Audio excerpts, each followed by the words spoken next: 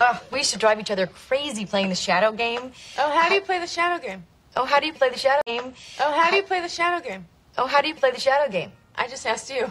I just asked you. Oh, we used to drive each other crazy playing the shadow game. Oh, how do you play the shadow game? Oh, how do you play the shadow game? I just asked you. I just asked you. Things that move me, the the shadow of a tree, uh, a child laughing,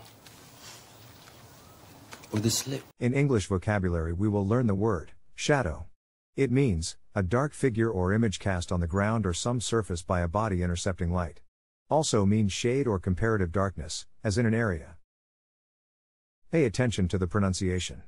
The first one is the word represented using the International Phonetic Alphabet. To pronounce shadow, have in mind that the size of the syllable indicates where the accent or stress is. In this case, the accent is in the first syllable, corresponding to shad. Below are other ways to pronounce it. Now, let's see how shadow is used in real life.